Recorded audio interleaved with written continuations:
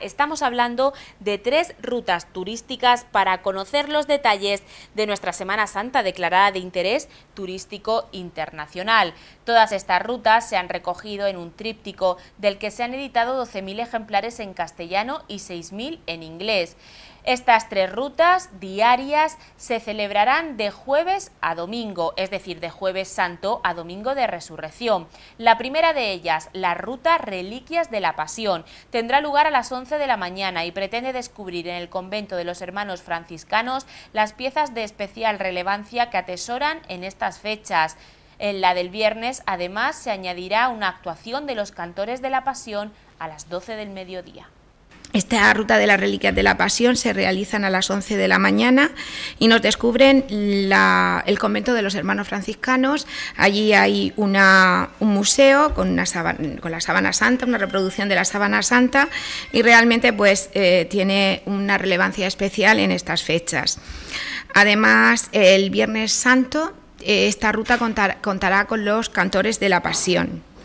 A las once y media se realizará el Paseo Cultural, una ruta urbana por el casco histórico de la ciudad, y a las 12 del mediodía será el turno de la segunda ruta organizada, denominada Arte y Pasión, y que circulará a través de las iglesias y plazas de la ciudad para descubrir la historia y las tradiciones de la Semana Santa, los armaos, el caballero cubierto o, por ejemplo, la diablesa. Estas dos rutas podrán hacerse en inglés y en francés para grupos de más de 10 personas. Todas ellas tienen un precio de 3 euros y requieren de previa reserva en la oficina de turismo, aunque son gratuitas para los menores de 16 años y los jubilados, también para los estudiantes universitarios, que tan solo tendrán que abonar 2 euros. Esta ruta de arte y pasión eh, cuenta las tradiciones, explica las tradiciones de nuestra Semana Santa, las particularidades y también se podrá realizar en francés y en inglés, al igual que la ruta cultural del paseo turístico.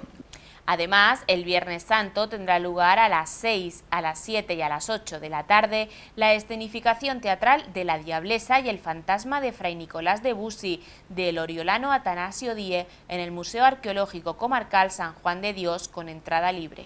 El jueves santo también cabe destacar que tendremos la representación teatral de la Diablesa y el fantasma Fray Nicolás de Bussy. Será en el Museo Arqueológico en tres pases a las 6, a las 7 y a las 8. Esta representación teatral de la Diablesa y el fantasma Nicolás de, de Fray Nicolás de Bussy ya se completó el año pasado. Es una representación teatral que realmente nos cuenta la historia de la Diablesa.